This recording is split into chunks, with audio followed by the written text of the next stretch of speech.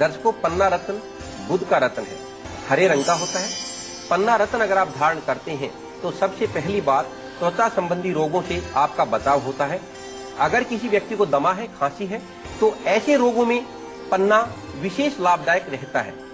किसी को मिचली एनिद्रा या टोन्सिल्स की शिकायत रहती हो तो भी पन्ना गुणकारी होता है।